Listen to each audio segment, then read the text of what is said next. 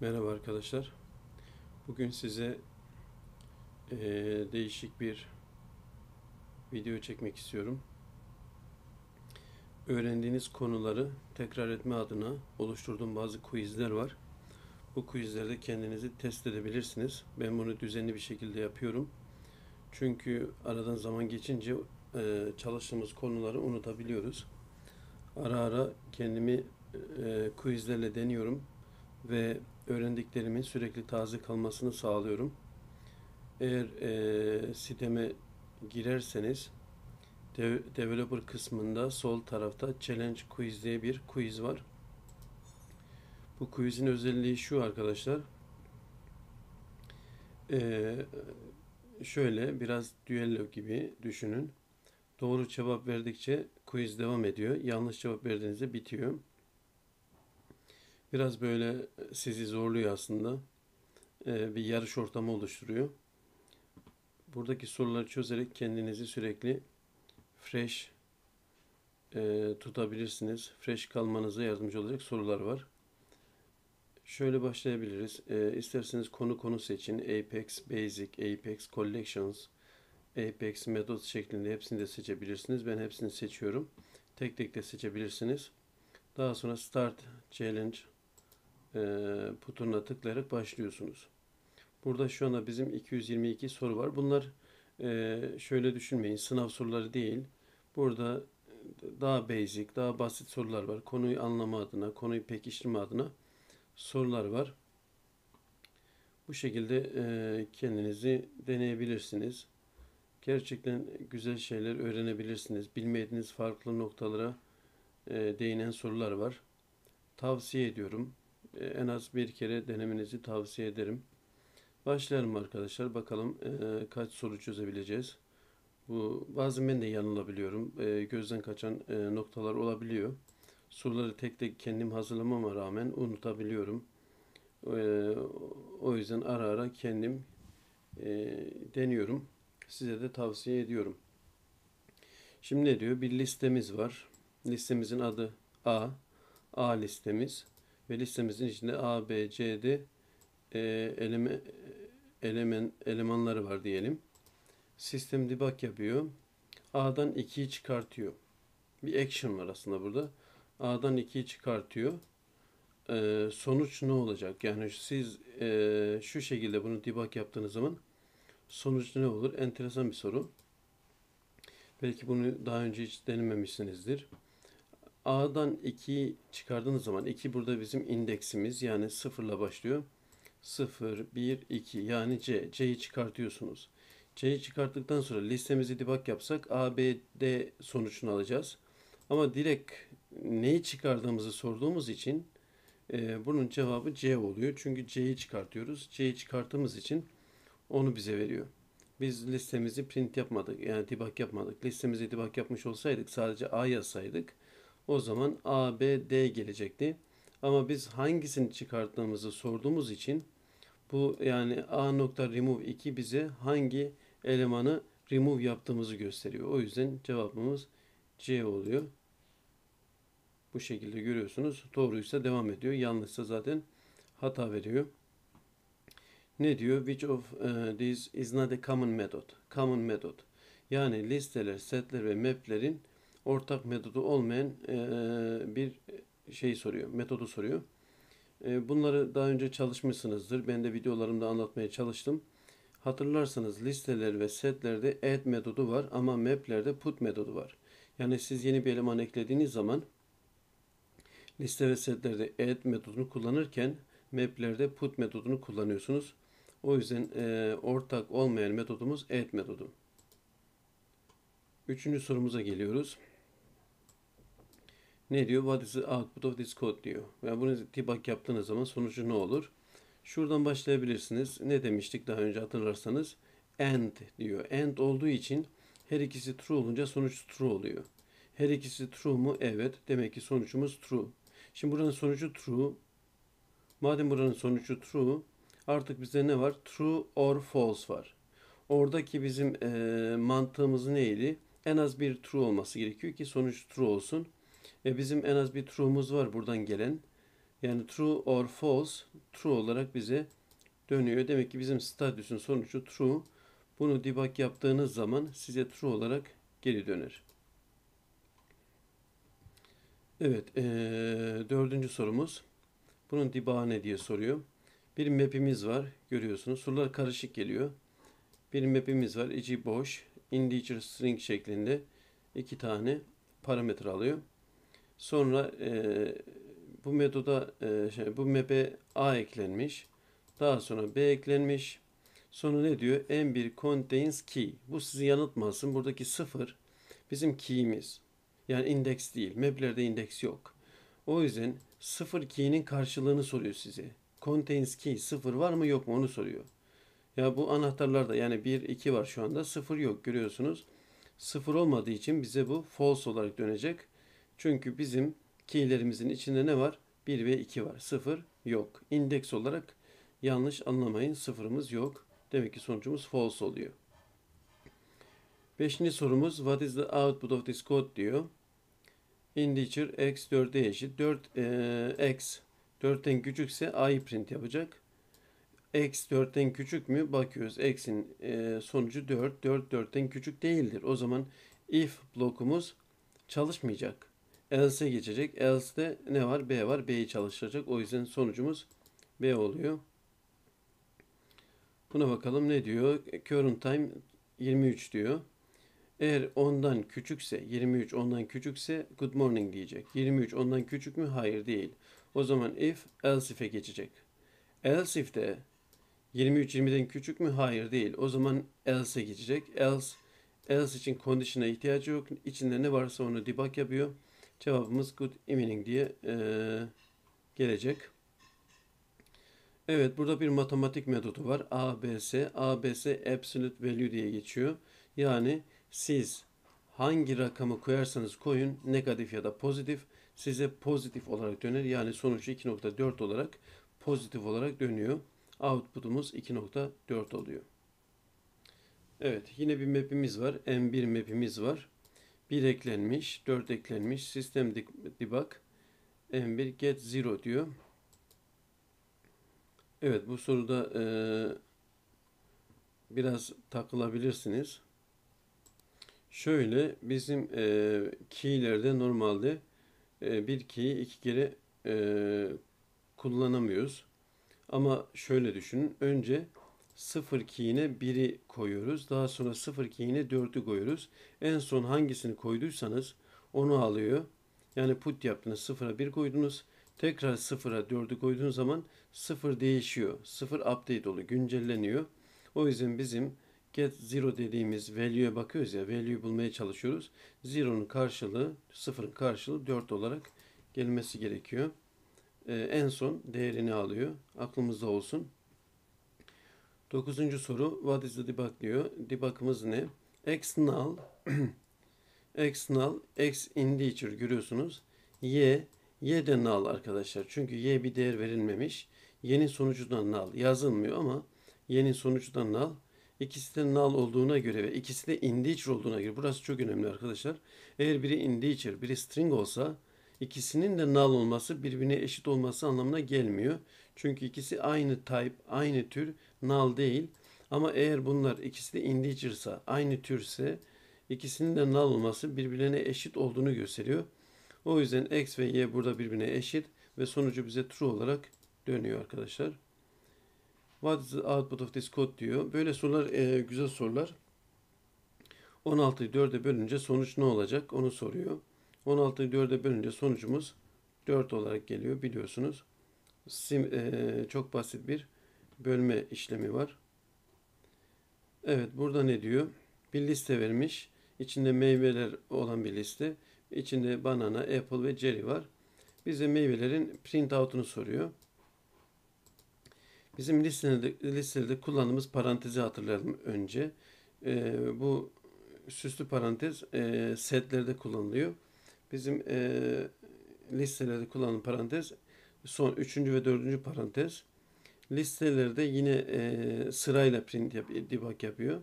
Yani banana, apple ve cherry olması gerekiyor. Son option'da bakıyoruz. Apple, banana sıra değişmiş. O yüzden sıra değişmeyeceği için Doğru cevabımız üçüncü cevap. Evet 12. soruda ne diyor? Date'den bahsediyor. Date ile alakalı bir video yapmam gerekiyor ama e, burada kısaca şöyle yapabiliriz.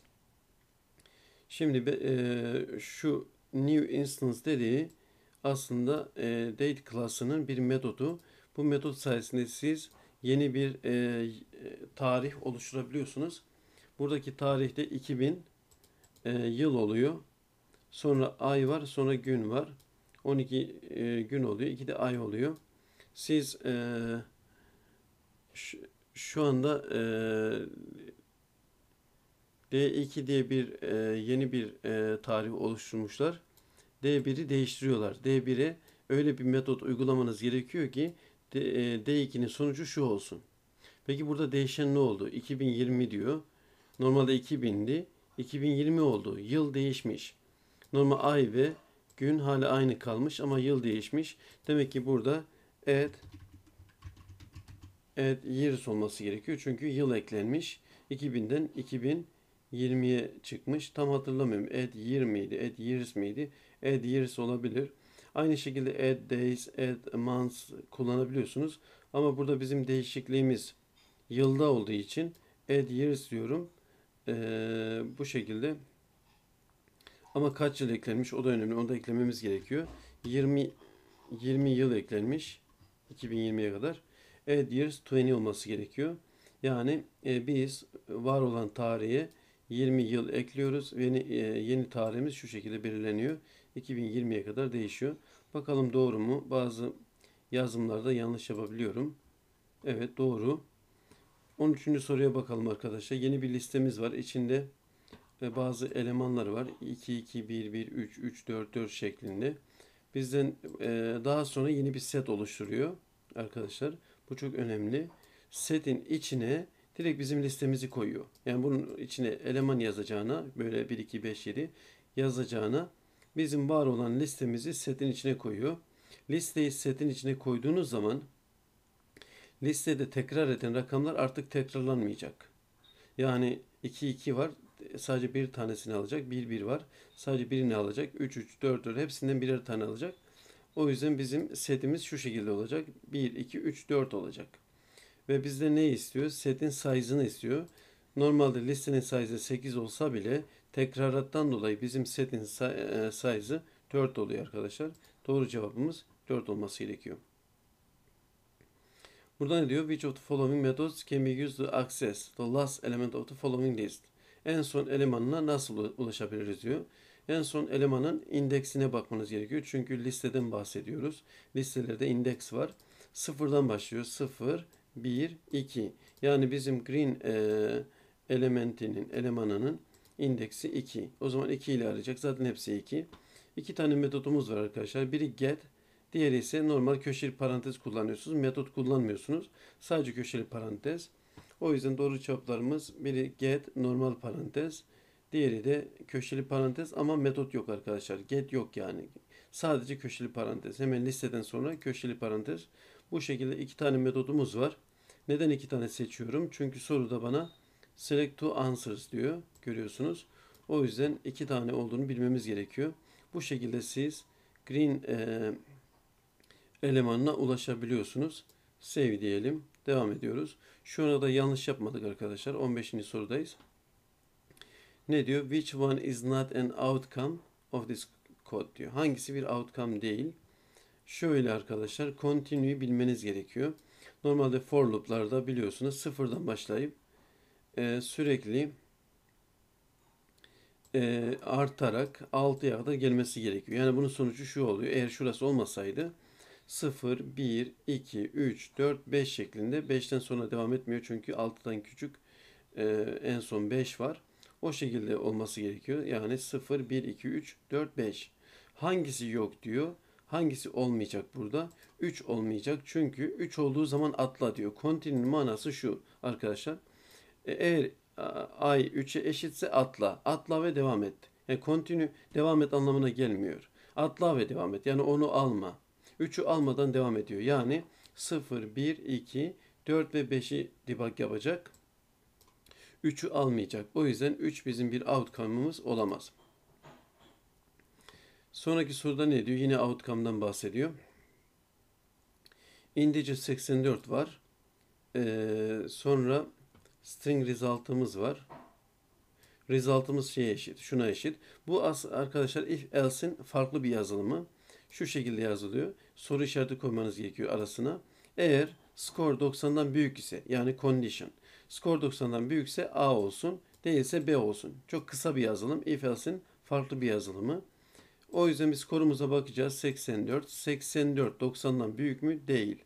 84 90'dan büyük olmadığı için A'yı almayacak. Neyi alacak arkadaşlar? B'yi alacak. Sonucumuz B oluyor. Yine bir listemiz var. Listenin içinde A, B, C, D elemanları var. Bizden ne istiyor? Şunu remove yap diyor. A listesinden bir şeyi remove yapmamızı istiyor. İndeksini vermiş arkadaşlar burada ama biraz farklı vermiş.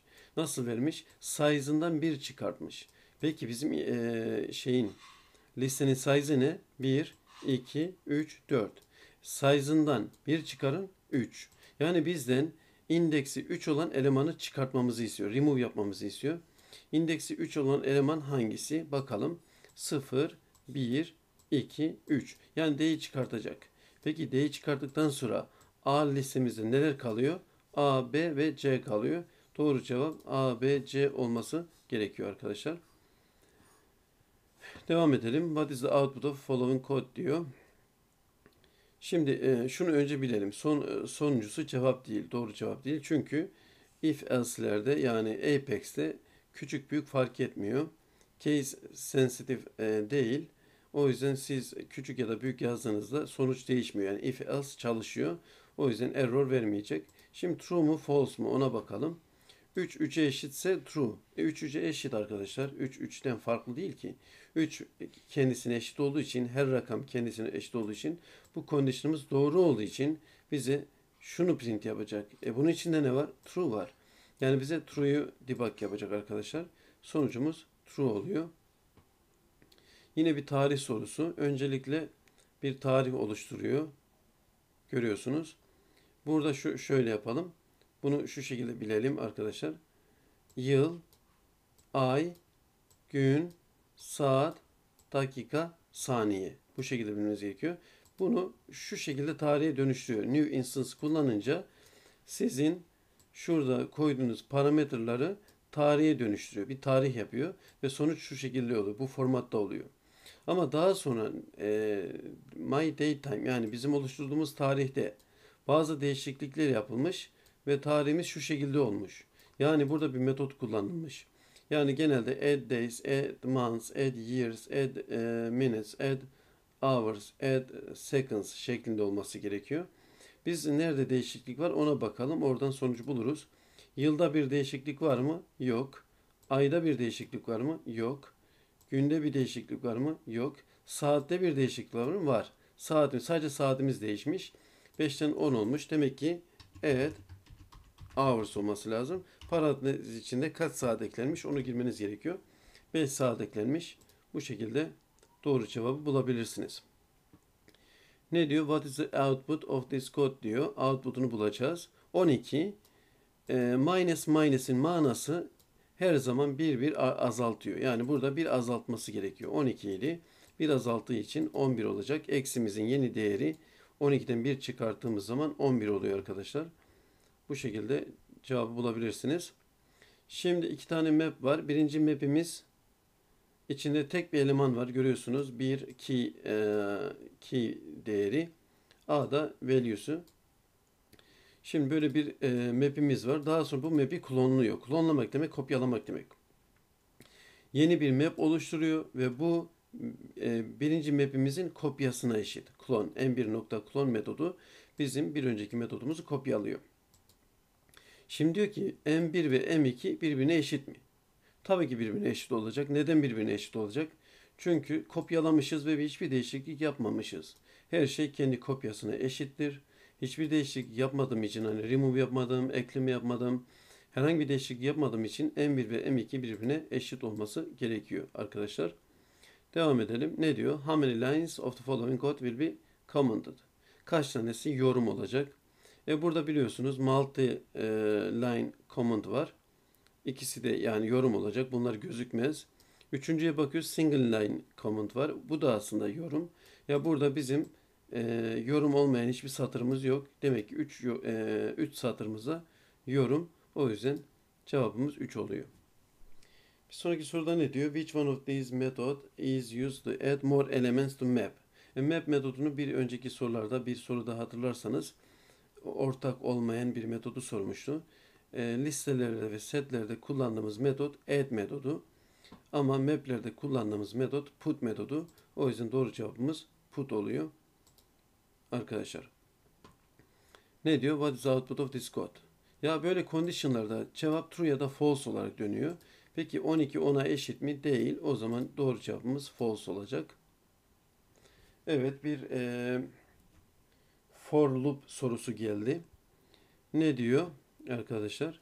Sıfırdan başlasın diyor. Sıfırdan başlasın diyor. Ondan sonra 10'a kadar devam etsin diyor. Ama ikişer ikişer artsın diyor. Burası çok önemli. Kendine sürekli 2 ekliyor. Yani 0, 2, 4, 6, 8, 10 şeklinde devam ediyor. Bunun sistem dibağı ne olur onu soruyor. Şimdi 0, 2, 4, 6, 8, 10. Bunlar even numbers biliyoruz. Çift sayılar. Ee, o zaman cevabımız ya bu olacak ya da bu olacak. Hangisi? 10 included diyor. 10 dahil. Evet 10 dahil. Çünkü görüyorsunuz less than or equal to 10 diyor. O yüzden doğru cevabımız even numbers from 0 to 10 10 is included olması gerekiyor arkadaşlar. Devam edelim. Yine bir map'imiz var. Map'in içinde iki tane elemanımız var. Biri e, key, key, key'imiz 1, e, değeri John, key'imiz 2, değeri Mercy. Bunlar index değil, karıştırmayalım. Bunlar key. Ne diyor? System bak users diyor. Bunu print yap diyor. E tabii ki şu şekilde print olacak arkadaşlar. Parantez içinde 1 eşittir John, 2 eşittir Mercy olacak. Tabii ki buradaki sorumuz şu. Hangi parantez olacak? Şu parantez olmuyor. E, süslü parantez olması gerekiyor. E, bir de şu işareti artık kullanmıyor. Tamam eklerken bu işareti kullanıyorsunuz ama debug yapınca sadece equal eşittir işareti kalıyor. Yani doğru cevabımız 1 eşittir John, 2 eşittir Mercy olması gerekiyor. Peki e, parantez içinde mi? Parantez içinde olup olmadığını e, bilmemiz yani tırnak işareti içinde mi? Hayır, tırnak işareti içinde olmaması gerekiyor. O yüzden doğru cevabımız 1 eşittir John, 2 eşittir Mercy şeklinde e, oluyor. Yani debug yaptıktan sonra şu işaret kalkıyor. Bir de tırnak işaretleri kalkıyor. O şekilde debug oluyor. Bunu bilmemiz gerekiyor arkadaşlar.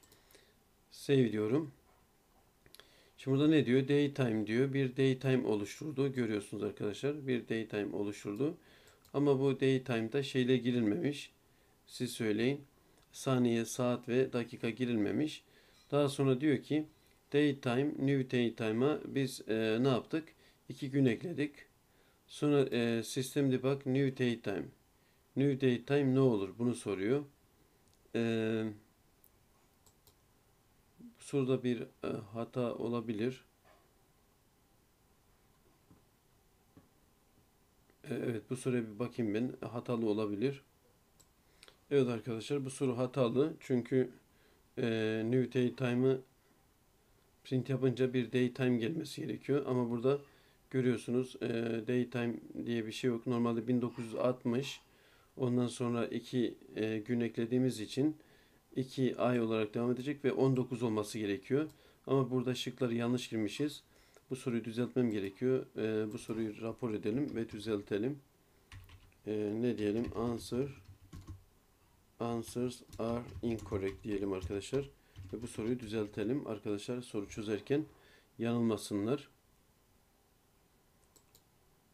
Şimdi rastgele bir cevabı seçmem gerekiyor. Çünkü cevaplar yanlış. Daytime diye seçiyorum doğru değilse e, burada videomuzu durdururuz.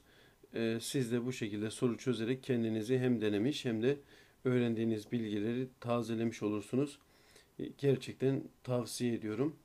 E, en az bir kere e, ya da işte her gün bir kere deneyebilirsiniz.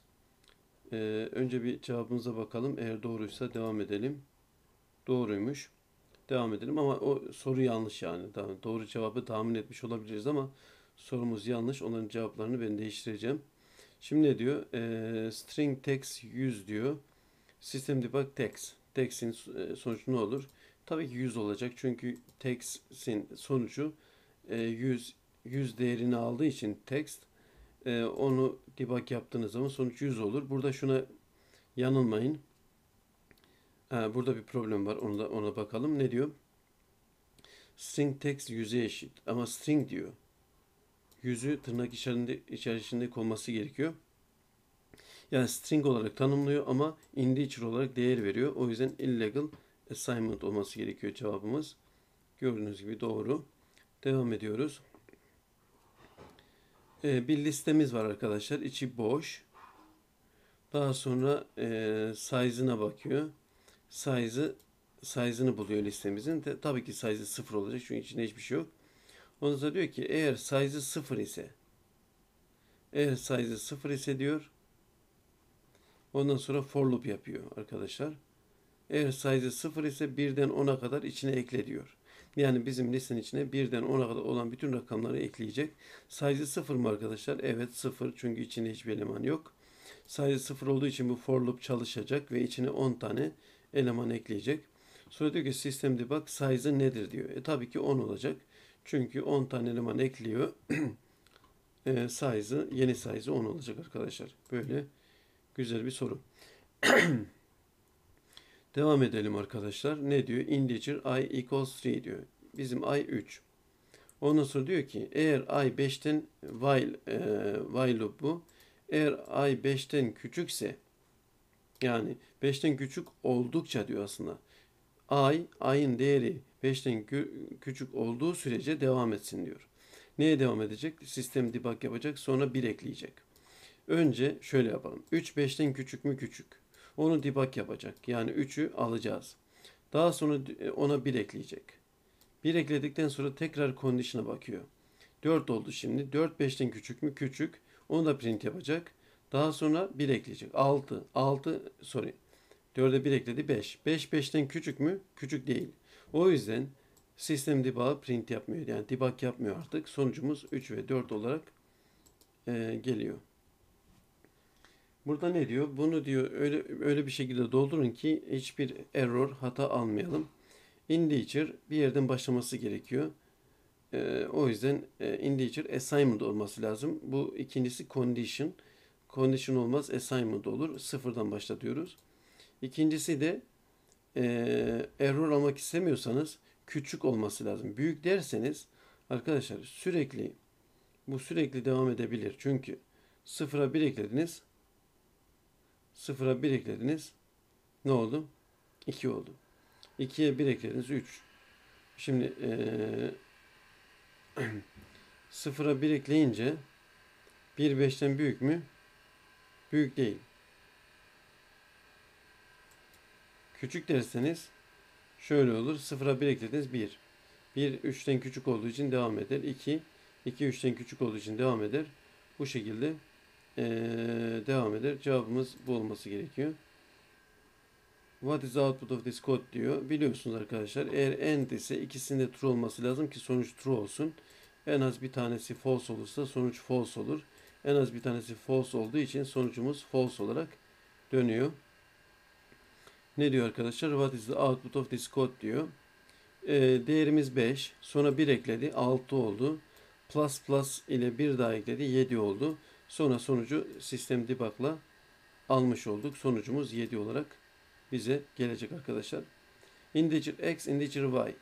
Şimdi x'e değer verilmemiş arkadaşlar. Sadece tanımlanmış. Y de aynı şekilde sadece tanımlanmış. Burada x ve y'nin alacağı değerler ikisi de null. Null değerlerini alıyorlar. İkisi de null olduğu için ve ikisi de integer olduğu için burası çok önemli. İkisi de integer olduğu için birbirine eşit olurlar. X y'ye eşit mi? Evet eşit. Sonucumuz true olarak bize geliyor. 35. soruya geldik. What is the output of this code diyor. Matematik maksimum. Bu maksimum metodu, matematiğin maksimum metodu iki sayıdan büyük olanı alıyor. Yani sonucumuz 10 olarak bize gelecek arkadaşlar.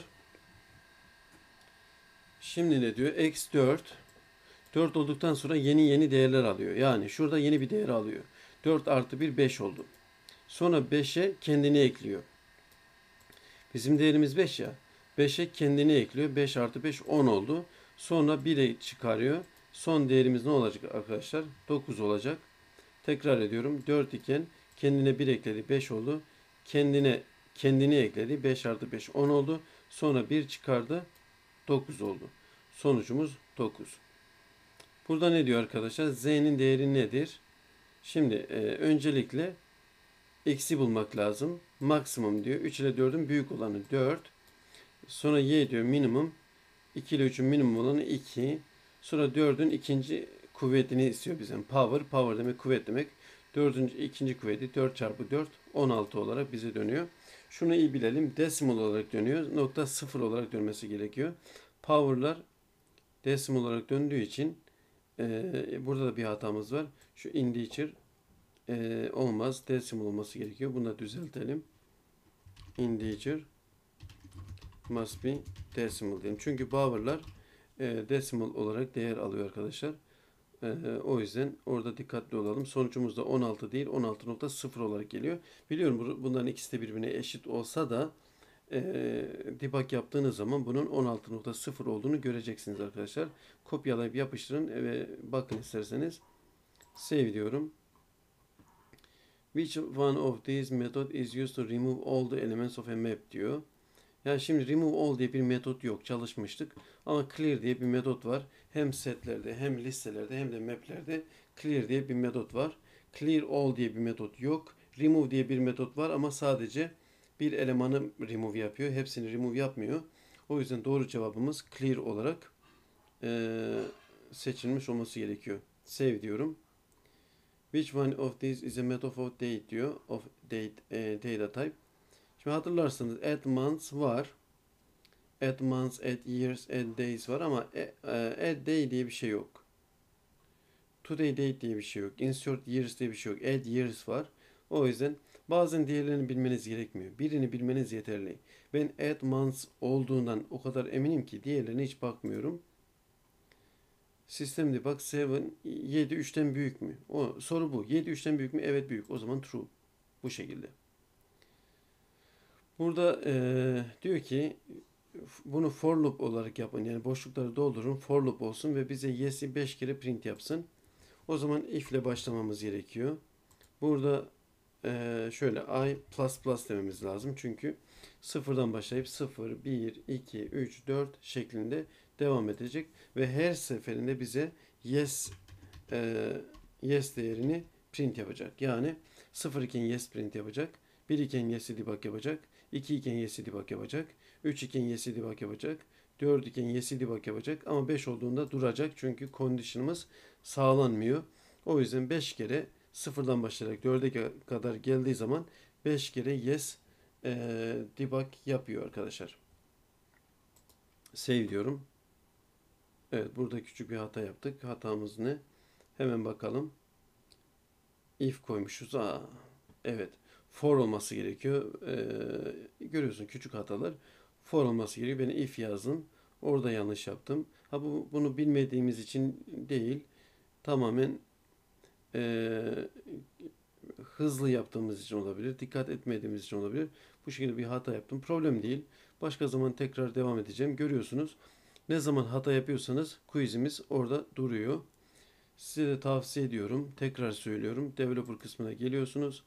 Burada challenge quiz diye bir quiz var. Oraya tıklayıp quiz'e başlayabilirsiniz. İsterseniz sadece basic apex, isterseniz sadece collections, isterseniz hepsini seçebilirsiniz. Bu şekilde quiz'i başlatıp kendinizi e, deneyebilirsiniz.